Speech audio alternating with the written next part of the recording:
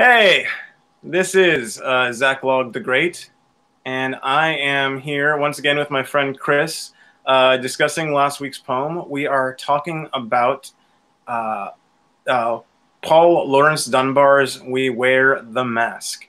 Uh, Chris, say hello. Hello. So, uh, Chris, would you like to start? What do you have? What, what's what, what what do you have to say about this? What's your initial initial thoughts? Uh, well, to begin with, I enjoyed it. Uh, I, I, I think with poetry, enjoying it is at, least somewhat important. But also, it does give you a lot of th- lot to think about. Uh, just to begin with, it's we wear the mask. There's different ways you can interpret the we, which does change the meaning and makes it a little bit more interesting.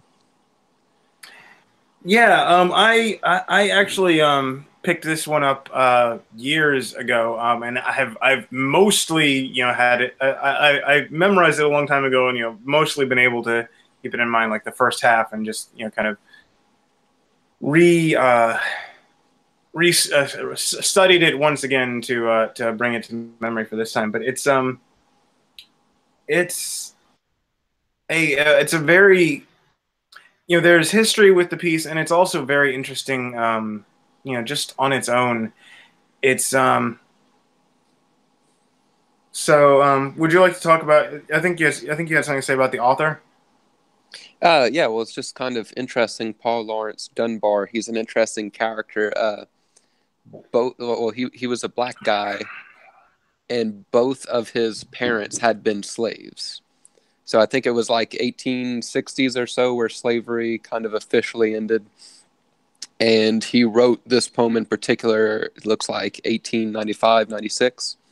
Right. Uh, so he was in a very interesting sort of position because he he was a black guy that was writing things that were being read by mostly sort of like intellectual white class it seems like that would have been a very unusual position.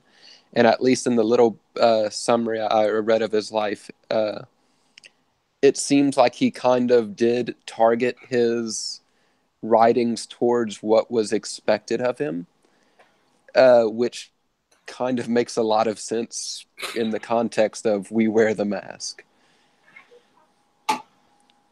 Well, um, yeah, and, and it's um, and you can definitely put this in the con- the uh, you know context of his you know specific time and his specific situation, uh, being a you know black man in America in the um, you know late nineteenth late nineteenth century, um, and you know and then if you want if you take if you take that then the you can take the we that the poem is you know speaking for and that we can become um, you know can become black people in his time.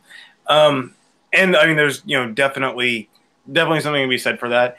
Um, i think if i think and, and um, I, I, I think if that's all you want to do with it you're kind of you're kind of losing a lot of it though.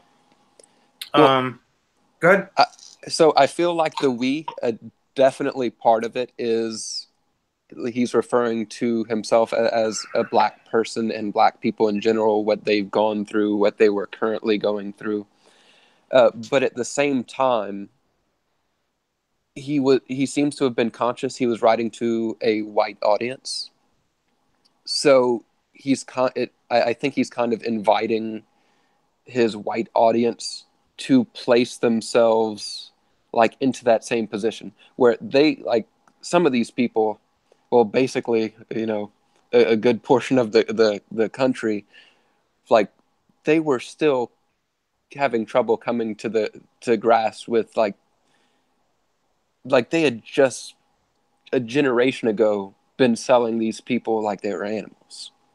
So just getting the white audience to sort of meet him halfway I, I feel like he's sort of inviting the white audience into his point of view, but leaving it general enough where they can still relate to it. So there's definitely a very general sense, but then you can also read deeper into it. yeah, and I think um, like I, I think this is something that most of us you know most of us experience most of us understand what he's talking about like you don't like you don't have to belong to you know this particular class um, for this to be something that makes sense to you. Um, you know it's um, you know all of us you know have a, a you know a lot of our lives where you know someone we you know someone we care about greatly is sick or we're you know deeply worried about some kind of financial situation or a hundred things are going on but at the same time you have to get up and you have to go to work and you have to deal with a world where you know none of this really matters to them they just you know need you to you know produce a product or perform a service for them and if you let your if you let these things weighing on you interfere with that then you're not like you're not going to be able to function in the world. And yeah, so um, people don't like to feel bad, and if you make them feel bad because it looks like you're going through something, then they might not necessarily associate it with not liking you, but they're not going to want to be around you, not going to want to interact with you on the same level as if you made them feel good. If you're smiling, then people will enjoy being around you a lot more than if you're frowning and seem unhappy. Laugh, laugh and the world laughs with you. Cry and the world laughs at you. Um, I don't think that's quite the original saying, but I think it works pretty well too. The um and the other um, it's uh, what is it? I remember reading uh, from. I think I picked this up from uh, an article from uh, Cracked.com years ago um, when they were still funny and not just social justice. Um, but they had one about like you know uh, I think it was like foreign words that English that the English language could use, and um, one of them was one of them it was a pair of words um, from Japanese, uh, and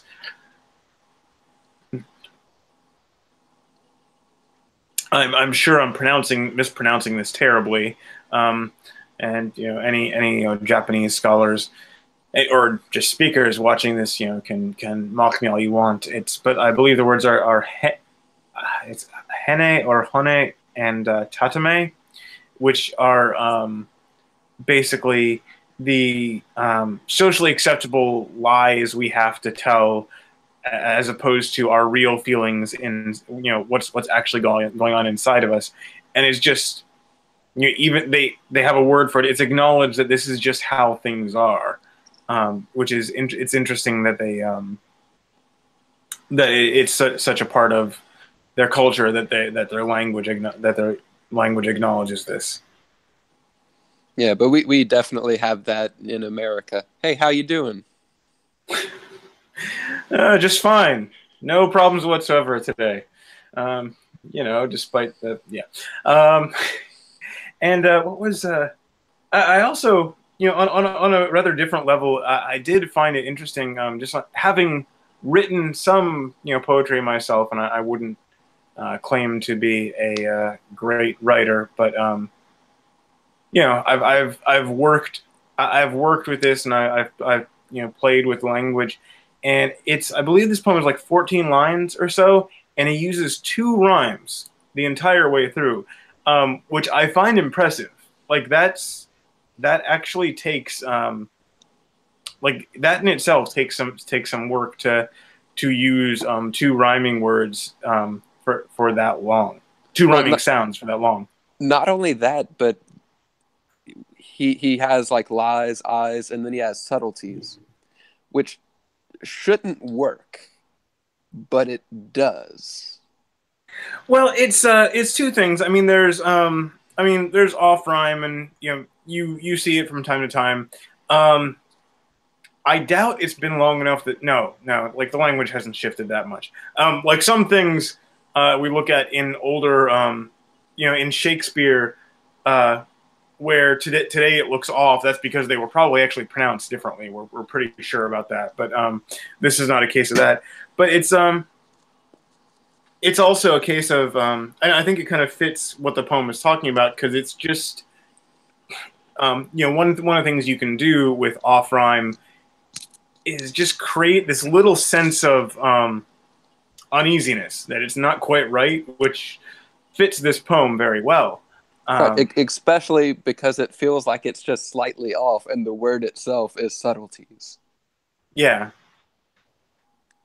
So, um, uh, not a very long poem, and you know it has a pretty doesn't uh, it. I, I think it has a message most people understand. I don't think it takes a great deal of analysis.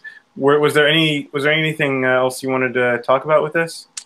Uh, well, there there was a few things that I, I thought was pretty cool. Uh, one of the things, and this some of this sort of came up through me just reading other people's thoughts about it, and uh, and I do have one that sort of I, I came to by myself, but I do like where it hides our cheeks and it shades our eyes. The second line there.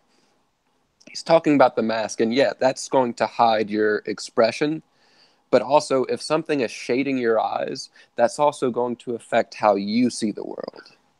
Right. Um that's true because like you um if you if you're putting on a false face it's going to affect how um like if you act something long enough it starts you know it can start to become true or at least it can uh, it can warp your view and warp your perception of the world. So yeah that um that makes sense. And it's um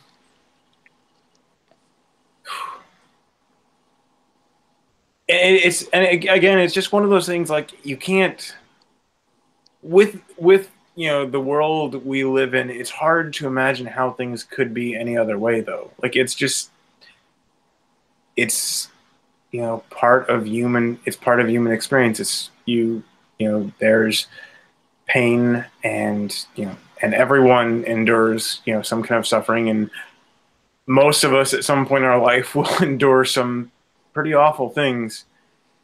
But you know, you just got to get up and and you know get on with it, and you know try to try your best not to let it get in your way, and and try not to show it because there are very what is uh, uh it's uh you know something from uh, Dennis Prager. You know, there's um, there are very few people you know in the world who actually care how you feel. Most people care how you act, and that is it. Um, and then, if you're lucky, you'll have several friends who will care how you feel, and your family, and not even always them.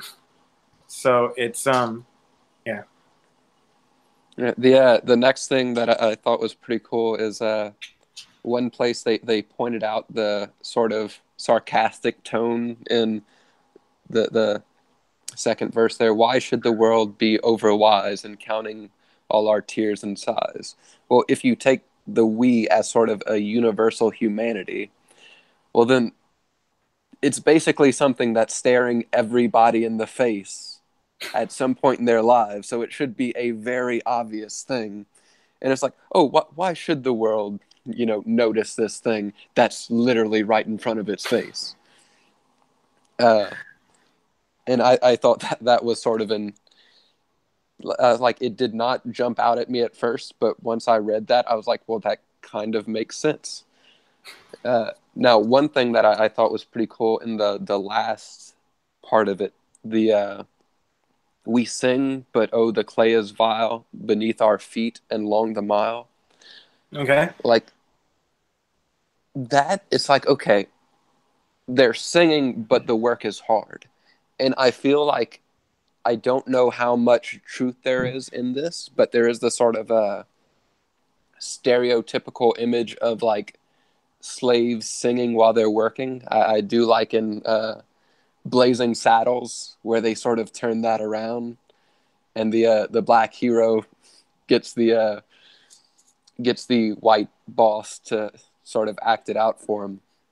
But beyond that, it also reminded me of uh, Rich Mullins song uh, "My Deliverer," where it's sort of the the people of Israel, and then broadening that out later in the song to sort of the just the people of the world, where life is hard and there is hope. That hope is in the future, but we're gonna sing about it now. So now is still rough. The the deliverance is coming, but it's not here yet. So there is sort of a hope, but it's a hope that's long off. Right. It's yeah. I have to. I have to think about that one a little bit. Um, okay. Well, uh, yeah. Like I said, I don't have like a ton to say about this one. Um, I like it, and you know, I I definitely it definitely rings true, you know, to my own experience, you know, of my life, and you know, you've seen other people um, who, you know, if you know if you know what's going on, you're like, well, good job just getting up this morning, but you know, they're not just getting up; they're they're you know actually going out there and being useful to other people, and so it's um, yeah, right. Yeah it, it, it's just it's brilliantly written because there's you you can make it pretty much as personal to him to sort of like his race all the way up to humanity. So he, he wraps it all up and it's just very well done. And yeah that is one thing i definitely um, like in uh, in literature something that can be you know read on something that can be read on several levels something where um, if you don't know any, if you if if you read this and have no idea who he is, like it still says something. If you read this and find out who he is and what his circumstances, it says something a little different and you know a little more. Um, but you don't have to have that, and you um, and so it has you know several. It, it has um, it has several levels of that you can read at, and I think that that's a, a good bonus feature as well. Yeah, and just like uh, Childe Roland, just the sort of like struggle and endless toil is just very present in there. Well, I'll, I'll try and pick something a little more cheerful for uh, for next time. Hopefully, we'll have a a uh, slightly more upbeat conversation. um, any? Uh, did you have anything else on this one? Uh, that was pretty much it. I mean, you can.